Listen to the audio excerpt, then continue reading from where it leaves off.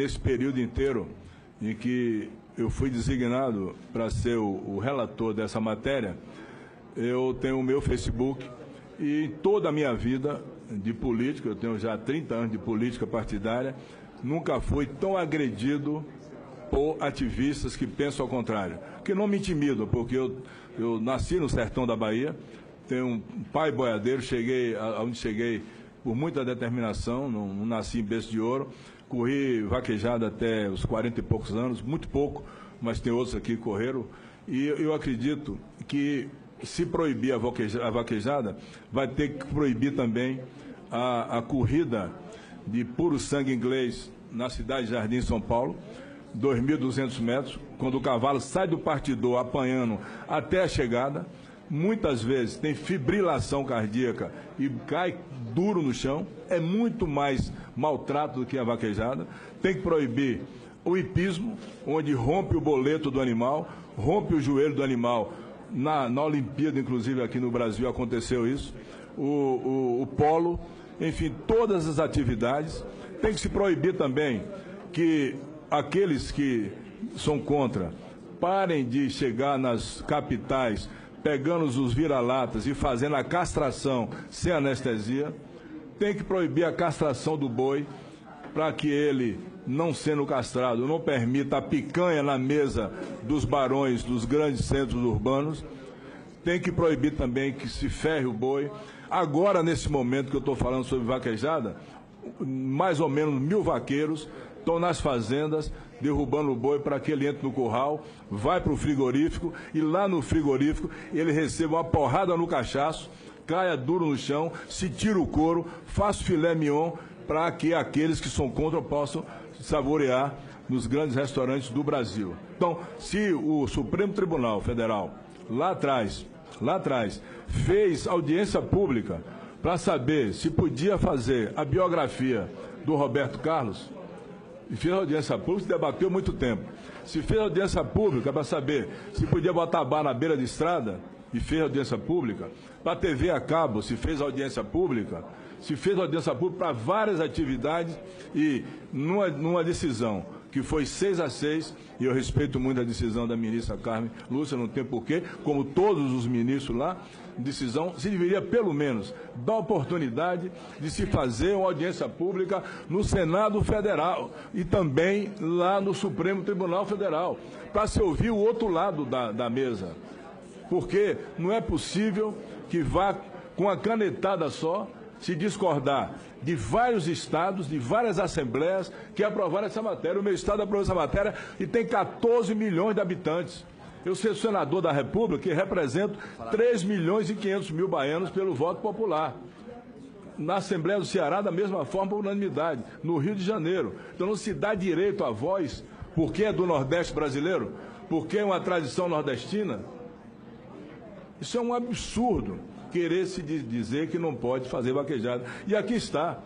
O juiz lá de Campina Grande negou a liminar da vaquejada, que estava organizada.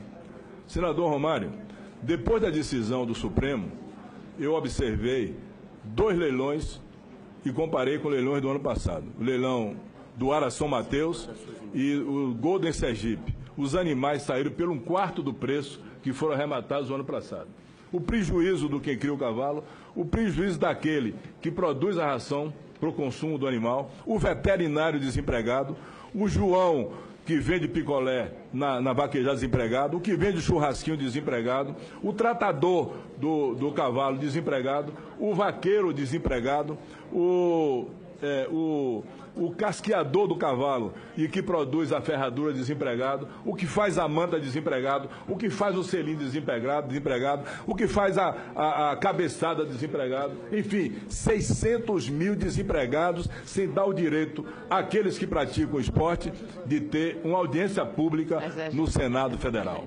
E eu vejo aqui o, o senador Antônio Anastasia, que pensa diferente, eu respeito, como respeito todos os outros ativistas mas eu peço também que me respeite, até porque nunca usei nem o, nem o computador, nem o telefone celular para, atrás dele, de forma covarde, agredir com palavras de baixo calão, como tem acontecido comigo, porque tem uma posição diferente dos outros. Diferente dos outros. Inclusive, mandei é, é, mandei degravar para entregar aqui à Polícia do Senado para que se pudesse analisar, que é uma agressão muito grosseira. Palavra de baixo calão que eu nunca proferi em minha vida em ambiente nenhum, porque tem uma posição diferente. E Vossa Excelência, que é lá de Minas Gerais, é, e Minas Gerais deu talvez um dos maiores poetas do Brasil, que foi Carlos Dumont de Andrade, Vossa Excelência que é contra, mas eu espero convencê-lo. Eu vou concluir, senhor presidente Romário Farias, a quem tenho uma grande admiração e respeito, com a poesia de Drummond, que Vossa Excelência deve conhecer bem a poesia de Drummond. E agora, José? Vossa Excelência conhece? A festa acabou, a luz apagou, o povo sumiu, a noite esfriou. E agora, José?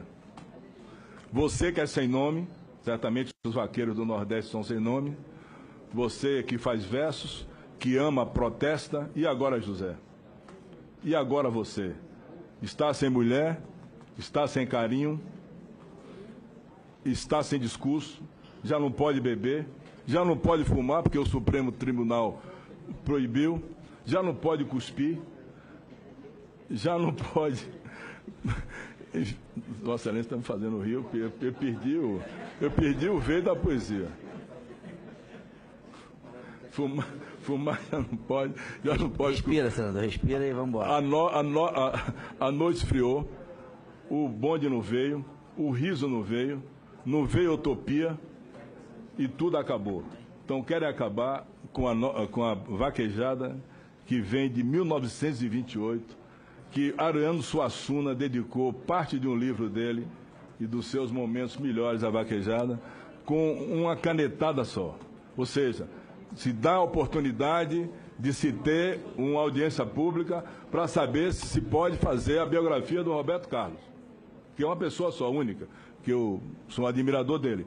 Do, dos bares na beira da estrada. E aqui não. Aqui pega, é do Nordeste, caneta Nordeste. Aí eu desprezo por Luiz Gonzaga, por Dominguinhos, pelos vaqueiros todos que trabalham no Nordeste e digo com toda sinceridade, todos esses Josés, Joãos, Manuels, não vão para lugar nenhum se ficarem desempregados. Não vão para droga, não vão para cachaça, não vai assaltar, não vai roubar. Porque se tem uma coisa que define o povo da vaquejada e do Nordeste brasileiro é a moral, a honra e a dignidade. Eu me criei assim numa casa dessa, dessa natureza no interior da Bahia, com meu pai, com, na, na luta e na labuta com cavalo e com boi, e posso dizer que essa, esse é um colegiado muito mais decente do que muitos colegiados que se reúnem aqui nos centros de traficância de Brasília para explorar o Brasil, e esse é um povo que contribui para o Brasil e para o emprego no Brasil.